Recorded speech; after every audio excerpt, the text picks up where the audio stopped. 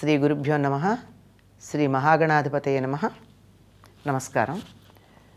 దేవుడికి నైవేద్యం లేక నివేదన లేదా ఆరగింపు పెట్టేటప్పుడు ఏ రకంగా చెయ్యాలి అని ఎప్పుడూ చేస్తున్న వాళ్ళకు కూడా మధ్య మధ్యలో సందేహాలు వస్తూ ఉంటాయి. సాధారణంగా మామూలుగా అవసర నివేదన పెట్టేస్తూ ఉంటారు చాలామంది. పాలు లేకపోయినట్టయితే పటికి బెల్లము బెల్లము పండో నివేదన చేస్తారు. పాతకాలం నుంచి మహానివేదన పెట్టే అలవాటు ఉంటుంది. మహానివేదన అంటే భోజనానికి కావలసిన ఏర్పాట్లన్నీ చేసి అన్నం పెట్టినట్టుగా పెట్టడం. ఈ పెట్టేటటువంటి చోట ఒక్కొక్కళ్ళు ఒక్కొక్క పద్ధతి పాటిస్తూ ఉంటారు. ఒక్కసారి ఆలోచించండి మనకే అర్థమవుతుంది ఏది సరైంది ఏది సరైంది కాదు అని. ఆ వండినటువంటి గిన్నె తెచ్చి అక్కడ పెట్టి ఇంత గిన్నెలో అన్నం ఉండి దాని మీద ఇంత పప్పు ఇంత కూర ఇంత నెయ్యి ఇంత పెరుగు ఏదో మిగిలిన చేసిన పదార్థాలన్నీ కొంచెం కొంచెం కొంచెం వేసి నివేదన చేస్తారు.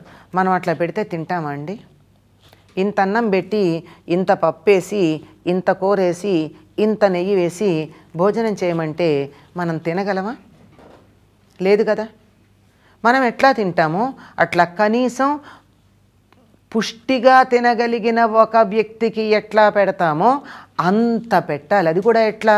ఆకులో కానీ పళ్ళెంలో కానీ అంటే మళ్ళీ మనం తింటున్నటువంటి కంచాలు పనికిరావు స్టీల్ అంతకంటే పనికిరాదు. వీలైతే వెండి అది దొరకకపోతే వెండి లేకపోయినట్టయితే చక్కగా ఒక ఆకులో అంత అన్నం ఇంత కాకపోతే ఇంత.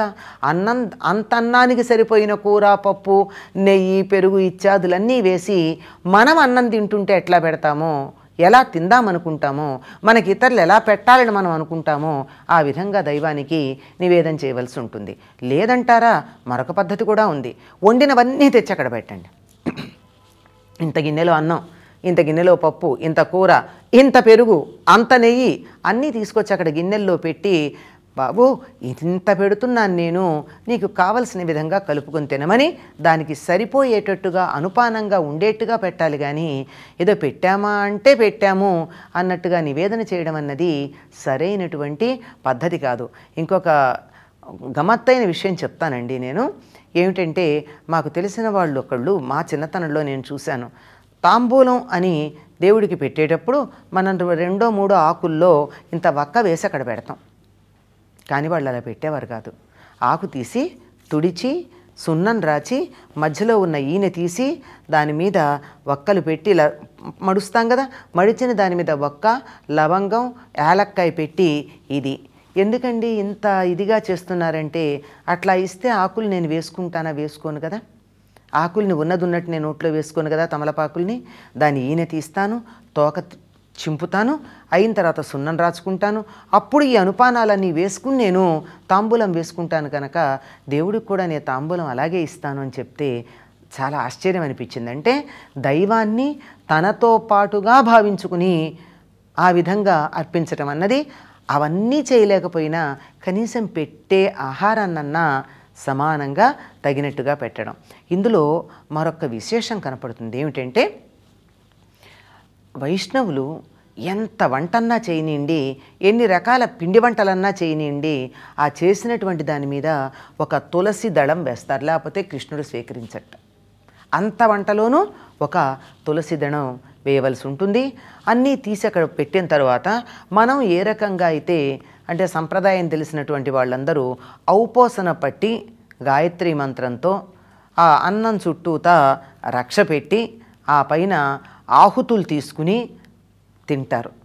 ఆ విధంగానే ఆహుతులైతే మనం ఇవ్వలేము. స్వామే తీసుకుంటాడు గనక ఆ ఔపోసన పట్టేటటువంటి పద్ధతి దాని చుట్టూతా గాయత్రి మంత్రంతో నీళ్ళు అభికరించేటటువంటి పద్ధతి మాత్రం పాటించడం గమనిస్తూ ఉంటాం. అయిన తర్వాత మధ్య మధ్య పానీయం సమర్పయామి. అన్నం తింటూ మధ్యలో పొరబోయిందో కారం అయిందో అని చెప్పి కొంచెం మంచినీళ్ళు తాగుతాం కదా. అలా మధ్య మధ్య పానీయం సమర్పయాం. అక్కడ నీళ్ళు పెట్టి మధ్యలో నీళ్ళు తాగుతున్నామని. ఉత్తరాపోసనం సమర్పయామి అని కాసి నీళ్ళు ఇచ్చి అంటే భోజనం అయ్యాక అవపోసనం అవుతుందని అటుపైన హస్తో ప్రక్షాళయామి పాదో ప్రక్షాళయామి చేతులు కడుగుతున్నాం కాళ్ళు కడుగుతున్నాం అని చెప్పి ఉండాలి. ఎందుకంటే భోజనం అయిన తర్వాత చేతులు కడుక్కోవడానికి ఎంత ప్రాధాన్యం ఉందో కాళ్ళు కడుక్కోవడానికి కూడా అంతే ప్రాధాన్యం ఉంది. తప్పనిసరిగా భోజనానికి ముందు తరువాత చేతులు కాళ్ళు కడుక్కోవాలి. ఇప్పుడైతే ఇతరులు చెప్తున్నారు గనక భోజనానికి ముందు చేతులు కడుక్కోవడం అన్నది మొదలుపెట్టాం. వాళ్ళు చెప్తే తర్వాత కూడా చేతులు కాళ్ళు కడుక్కుంటామేమో మనం? చూద్దాం. స్వస్తి.